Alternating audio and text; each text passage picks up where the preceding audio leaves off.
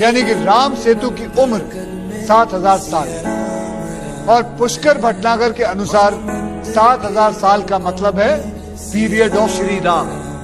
इसी तरह राम सेतु को तोड़ना श्री राम की स्मृति को मिटाने की कोशिश है। क्योंकि जब तक राम सेतु है, वो दुनिया को विश्वास दिलाता रहेगा कि जब जब किसी स्त्री का अपहरण होगा, उस पर अत्याचार होगा, तब तक एक श्री राम समुद्र को बांधकर अपनी वानर सेना के साथ आएगा और हर रावण का विनाश होगा। कौशल्या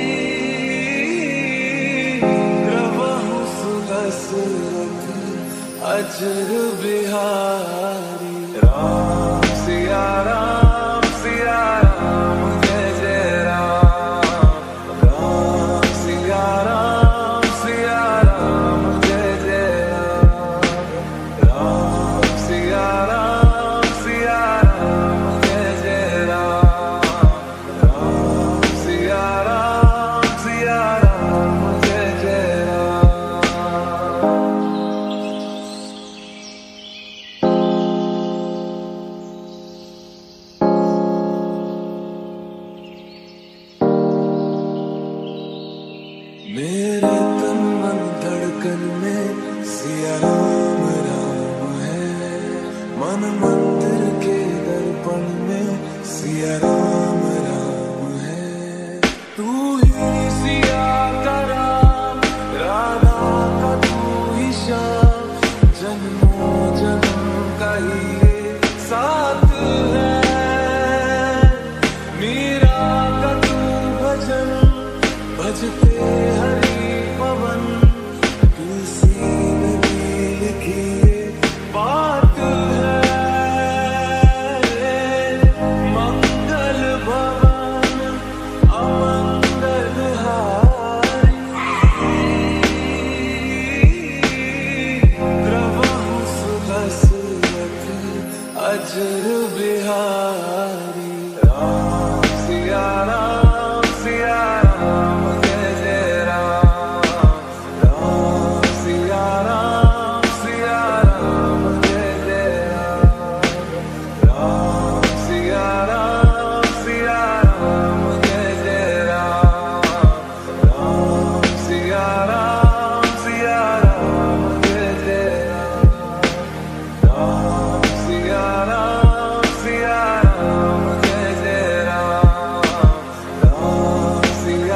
डोली भूमि गिरा दस्कंधर पूरी की पूरी भूमि डोल गई जब रावण गिरा।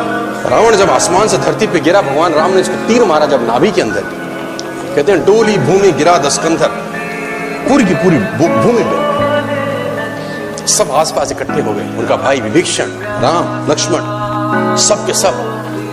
और उस जुदाई के अंतिम बेला में भगवान राम ने लक्ष्मण से कहा, कुछ सीखा। हाँ?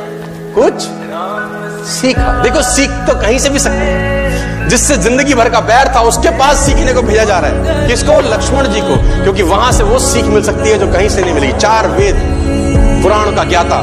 तो भगवान राम ने अपने छोटे भाई लक्ष्मण को रावण के पास सीखने को भेजा और ग्रंथ कहता है कि लक्ष्मण अहंकार के कारण सिर के पास रावण के खड़े हुए। अहंकार के। राम ने बोला, नहीं नहीं, ये पैटर्न गलत है। पैर के पास। सीखने के लिए चरणों पे जाना पड़ता लक्ष्मण मुड़े चरणों के पास। बोला, रावण, कुछ सिखा दो। अंतिम, कुछ सीख दे के जाओ। बड़ी मार्मिक घटना है। रावण ने लक्ष्मण को बोला, मैं क्या सिखाऊं तुझे?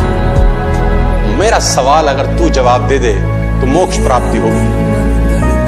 तो लक्ष्मण ने बोला, तुम क्या सीखना चाहते हो? बोला, मेरा एक सवाल है तुझसे।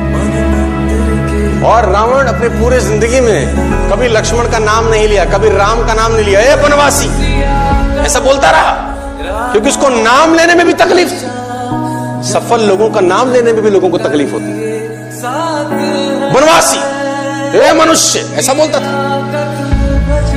तो लक्ष्मण ने बोला, आप हमें कुछ सिखाइए, हमें ज्ञान दीजिए। तो रावण ने बोला, मेरा एक सवाल का जवाब दे पहले।